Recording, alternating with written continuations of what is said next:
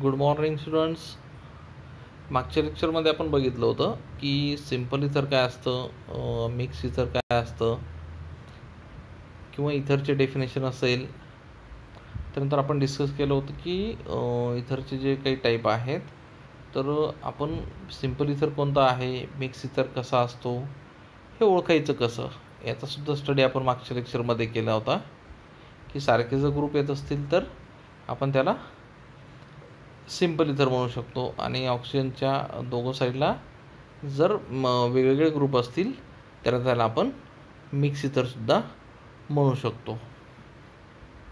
त्याच्यामुळे आता आपल्याला त्याचा पुढचा टॉपिक स्टडी करायचा आहे. सगळ्यात महत्त्वाची सिस्टीम असते आपली I U P C system किंवा कॉमन सिस्टीम त्यालाच म्हणतात नॉमिक्लेचर ऑफ इथर्स आता या ठिकाणी आपण स्ट टॉपिक स्टार्ट करतो आहे नॉमिक्लेचर्स ऑफ इथर्स तर पहिले कॉमन सिस्टीम काय असते? त्यालाच म्हटलं तर ट्रॅव्हल सिस्टीमसुद्धा म्हटलं जातं त्याला. तर common system according to common system simple ethers are name as dialkyl ethers or alkyl ether okay common system simple इथरची जी असते ती डायल्किल इथर किंवा अल्किल इथरसुद्धा डिनोट केली जाते. In case of mix ether alkyl groups are written according to alphabetical order. आणि जे काही मिक्स इतर असतील ते अल्फाबेटिकल जे ऑर्डर असणार आहे जसं की मेथिल आणि इथिल त्या ठिकाणी मॉलिक्युल आहे तर मेथिलचा पहिलं जे अक्षर आहे ते एम असतं आणि इथिलचं ई e असतं. मग अल्फाबेटिकलनुसार एम आधी येईल की ई तर त्या ठिकाणी आपल्याला ई e अक्षर जे आहे ते अल्फाबेटिकलनुसार आधी येणार आहे. म्हणून आधी आपण इथील लिहिणार आणि मग नंतर काय लिहिणार? मेथील त्या ठिकाणी लिहिणार. हे कॉमन सिस्टीममध्ये लक्षात ठेवायचं आहे. हे जे काही नियम आहेत हे फक्त इथरसाठी थोडेसे वेगळे आहेत. आपण जे अल्कोहोल बघितलं असेल फेनॉल बघितला होता किंवा अल्किल हॅलाइड वगैरे स्टडी केला होता. त्याच्यामध्ये सिस्टीम जी आहे ती वेगळी होती. त्यांचे रूल जे होते ते त्याच्यापेक्षा हे जे रूल आहेत हे थोडेसे थोड्या प्रमाणात वेगळ्या पद्धतीच्या आहेत.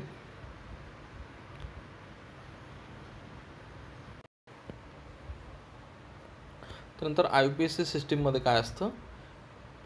आय पी एस सी सिस्टीमचे जे काही नियम असतात ते वेगळ्या पद्धतीचे थोडेसे आहेत अल्कोहोल आणि फेनॉलपेक्षा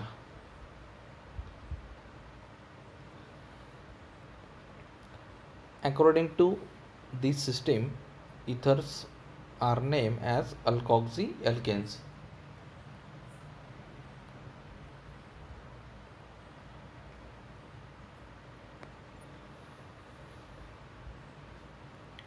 Okay म्हणजे या सिस्टीममध्ये आय पी एस सिस्टीममध्ये अल्कॉक्झी अल्केन आपण डिनोट करू शकतो. The larger alkyl group is consider as the parent alkane okay. आणि डार्चर ग्रुप कन्सिडर केला जातो पॅरेंट अल्केन म्हणून या सिस्टीममध्ये the smaller alkyl group along with oxygen atom is name as alkoxy group okay smaller जो अल्किल ग्रुप असेल oxygen atom बरोबरचा तर त्याला आपण काय म्हणू शकतो? अल्कॉक्झी ग्रुपसुद्धा त्याला आपण ठिकाणी म्हणू शकतो. Then the position of these alkoxy group is indicated by the minimum number आणि जी काही पोझिशन असेल अल्कोक्झी अल्कॉक्झी ग्रुपची कमीत कमी जो नंबर असणार आहे इंडिकेट करणारा तर त्याला आधी आपल्याला काय करायची प्रेफरन्स त्या ठिकाणी द्यायचा आहे.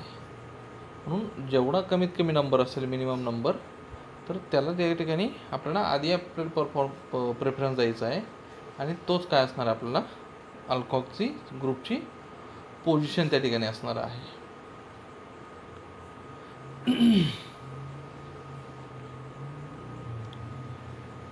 या ठिकाणी पिरियडिक सॉरी नॉमिक्लेचर सिस्टीमचा जो काय आहे इथरचा मॉलिक्युलचा टेबल दिलेला आहे. तर एक्झाम्पल बघू शकतो आपण की इथरचं आहे एक कॉलम एक आहे कॉमन नेमचा दुसरा कॉलम आहे I P S C नॉमिनक्लेचरचा I P S C names जे असतील ते पहिल्या कॉलममध्ये आपण बघू शकतो. या ठिकाणी C S three O C S three दिलेला आहे. म्हणजे त्या ठिकाणी सिंपल नेममध्ये काय येईल की दोन मेथिल ग्रुप आहेत आणि दोन मेथिल ग्रुप असतील तर आपण जनरली आपण म्हणतो डाय म्हणतो शकतो त्याला आपण. मग बघा इथं कॉमन नेममध्ये डायमेथिल म्हटलं त्यांनी. डायमेथिल आणि ऑक्सिजन ॲटम ॲटच आहेत आणि ऑक्सिजन जो फंक्शन ग्रुप आहे तो इथरचा आहे. म्हणून त्याचं नाव आलं डायमेथिल इथर. आता I U P S C नेहमीच बघू शकतो आपण या ठिकाणी की यांनी म्हटलं की मिथॉक्सी मिथेन. आता हा हे जे नेम आहे हे कसं येऊ शकतं? तर बघा हा मेथिल ग्रुप आहे आणि हा ऑक्सिजन आहे. आता मेथीलचा जो वायल असतो तो काढून टाकायचा. म्हणजेच या ठिकाणी फक्त काय उरलं? एम ई टी एच म्हणजे मेथ. ओके? आणि हा ऑक्झी ऑक्झी म्हणजेच ऑक्सिजन. ओके? म्हणून त्याचं नाव आलं मिथॉक्झी आणि इकडं हा ओ सी एस थ्रीचं नाव झालं मिथॉक्झी आणि हा जो सी एस थ्री दिसतोय तुम्हाला हा सी एस थ्री काय? आहे methane. I P S C नॉमिक्लेचरमध्ये आपण जो कॉमन नेमला मेथिन म्हटला तो तो आय पी एस सीमध्ये काय येतो मिथेन. म्हणून त्याला नाव आलं मिथॉक्झी मिथेन. ओके तर सेकंड एक्झाम्पल आपण बघू शकतो.